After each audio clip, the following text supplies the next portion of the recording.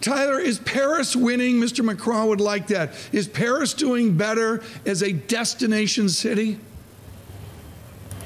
It is for sure. If you look at the tourism numbers, after, of course, uh, you know, such a, a, long run of terrorism incidents, uh, it's bounced back. Uh, it's not the most beautiful day here uh, today, I have to admit. Mr. Macron is not winning on the infrastructure front. It took about 90 minutes in from Charles de Gaulle. Once you get into the city, though, um, so many weekend papers across Europe, Tom, were talking about you know, the move to Paris, and um, certainly from uh, you know from financial institutions, you know, whether it's hedge funds uh, and, and many others. Uh, and you know, everyone is sort of pointing that this is going to be probably the one city that is going to really singularly win right. after Brexit. The suits and ties of New York and London are all wound up about the future of London. I would say, Monocle, your staff is more wired up on what people actually want to do. Do they actually want to leave the city of London? No, I don't think they do want to leave. I think that people want to stick around. Uh, they want to be, but they want to be part of a winning team. I think that's the the big component. And when you see a lot of businesses, when you see your colleagues heading for the door, or and this is you know we've touched on this before uh, over the summer.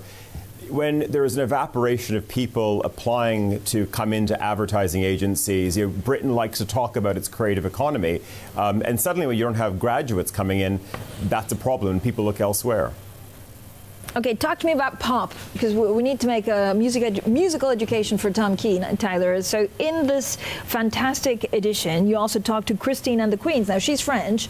Do, do people of pop actually bring the soft power to the country? Yeah, for sure, and that's it's a big component of what we look at. One of the reasons, or a couple of the reasons, why France did so well this year, um, and, and, we had to take the measure of, of, of course, uh, Christine and the Queens, and, and Tom. If you've got time, it's a long week ahead of you, but for the weekend, um, I would suggest to probably download a couple of videos and see what she's up to. Um, but it's it, it's a real sensation in terms of what she's been able to deliver uh, globally. I mean, this is not just isolated to a francophone story. This is truly international. The other component, okay, though, is when we look at soft power, it's. Go ahead, go ahead. No, I was going to say the U.S. is not doing great. Right? You have them at number nine with a red arrow going down, Tyler, which means that they're actually losing soft power, and you say they're, they're squandering its soft power wins. Uh, yeah, well, uh, sorry, Christina, you broke up. I've, I've, i just I didn't I didn't get that question. Sorry. Number nine, the U.S. squandering its soft power. Monocle says. Yeah, absolutely. Well, for sure. And this is this is across a variety of things. You know, Tom was sort of referencing Harper's Bazaar, a great U.S. magazine, uh, and and certainly a very respected fashion outlet. But if you look globally, and this is the comparison, New York versus Paris right now. When you look at international brands, international fashion brands. Uh, this is a story which is dominated by the French, and it's also in the French owning Swiss brands and Italian brands.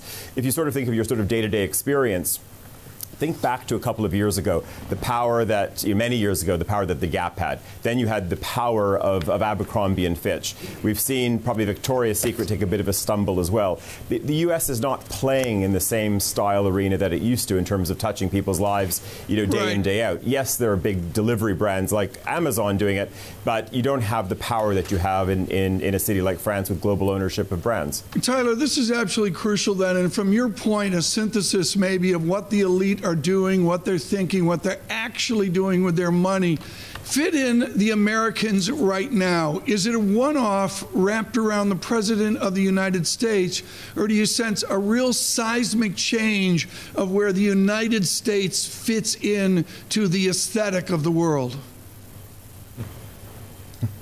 Uh, there's, there's one thing, and, and, it's a great question because I think there is still a drive, there is still an agenda set, probably on both coasts, but probably more the U.S. West Coast.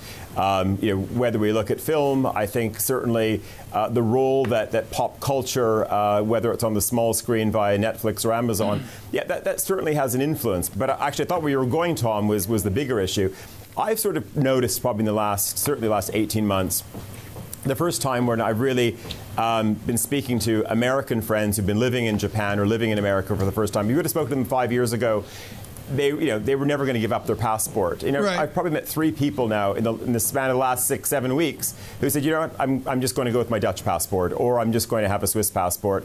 I, I don't want to have a U.S. passport uh, anymore. And I mean, that's that's a serious shift. I mean, that's something I never thought I would experience Right. in my lifetime. Tyler, you mentioned Chengdu and your new uh, issue. Tell us at the margin what you see out of China. We speak to economists, we speak to sell side retail of the importance in every conversation of China at the margin. Is China at the margin now, or are they going to pull back with a trade war? No, I think that uh, I think China will power ahead. I think it's it's interesting when you look at the importance of Chinatown when it comes to luxury. I mean, whether it's a third of, of some com- uh, companies' businesses, uh, you know, it, does, is it approaching 20% for others? But it is absolutely crucial. And I think the bigger point, though, is also the Chinese out in the world. You know, it's not, you know, the, the story is not just about, of course, China purchase in country, um, but it's two streets away from here. It's one street away from your bureau here in Paris, um, up at Galeries Lafayette. That that global spending power, the Chinese being out um, in, in the world, is. Um, is a, something you can't ignore. Um, I guess the big question, though, and this is, goes to our soft power survey, when are we going to see Tom and Francine a, a global Chinese brand? In the retail space, uh, when are we going to see a proper Chinese luxury brand? Um, are they going to be able to, you know, a, a car that, yeah, is going to really go up against a BMW or an Audi that we'd want to drive? Yeah, uh, Tyler, we need to get you back to talk about that. I also love the fact that you spend a little bit of time looking at uh, the other half, right? The spouses. Do we underestimate? You have Melania Trump number one, Philip May number two, and then you go on to Brigitte Macron and the others. Um, for those of you on radio, it's a fun read. It's it's in the monocle and basically ranks the power of the spouse. Tyler, do we underestimate their influence? I think we do. It's, it's it is always a sideshow. It's always that sort of soft third story. It's always the you know the page seven or eight story when there's a major world event. But I think that you know we, we've certainly seen.